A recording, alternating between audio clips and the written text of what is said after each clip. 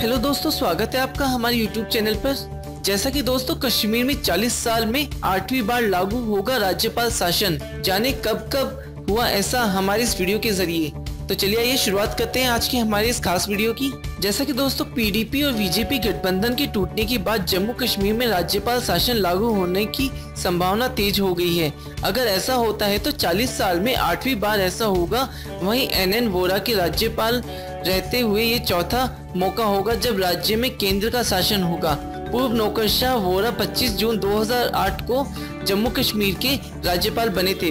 PDP के साथ जम्मू कश्मीर में करीब तीन साल गठबंधन सरकार में रहने के बाद भाजपा ने सरकार से समर्थन वापस की, मंगलवार को घोषणा की। भगवा पार्टी ने कहा कि राज्य में बढ़ते कट्टरपंथ और आतंकवाद के चलते सरकार में बने रहना मुश्किल हो गया था।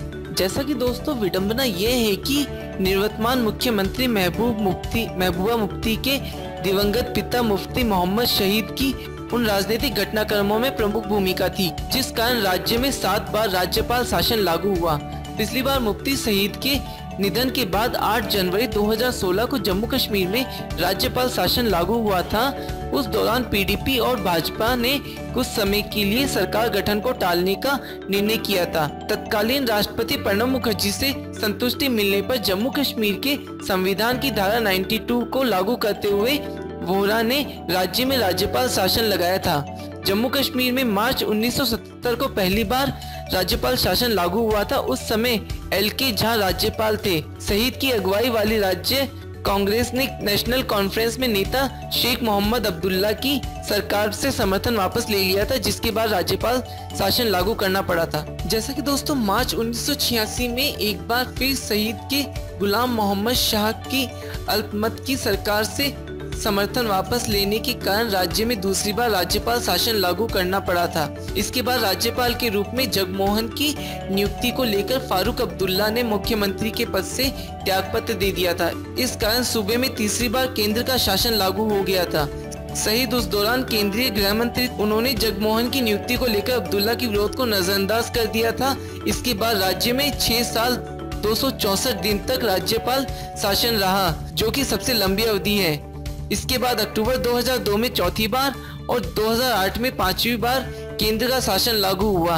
वहीं राज्य में छठी बार 2014 में राज्यपाल शासन लागू हुआ था। जैसा कि दोस्तों 26 मार्च 1977 से 9 जुलाई 1977 तक की बात करें तो कांग्रेस के समर्थन लेने के बाद शेख अब्दुल्ला के नेतृत्व वाले राज्य सरकार अल्पमत में आ गई। इसके चलते 105 दिन तक राज्यपाल का शासन रहा।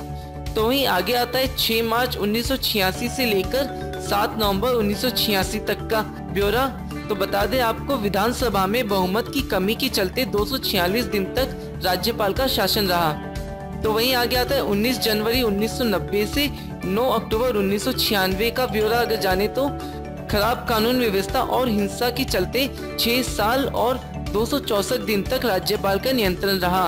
तो वहीं आगे आता है। 18 अक्टूबर 2002 से 2 नवंबर 2002 का अगर ब्यौरा जाने तो एक बार फिर से अस्पष्ट नतीजे के चलते 15 दिन तक राज्यपाल का शासन रहा।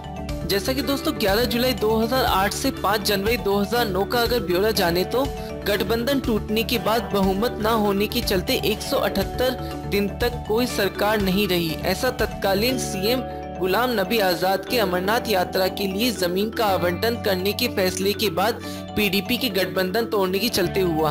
तो वहीं आगे आता है 9 जनवरी 2015 से 1 मार्च 2015 का अगर ब्यौरा जाने तो राज्य के चुनाव में किसी को बहुमत न मिलने के कारण कोई सरकार नहीं बनी। इसके बाद बीजेपी और पीडीपी के बीच गठबंधन का समझौता हुआ।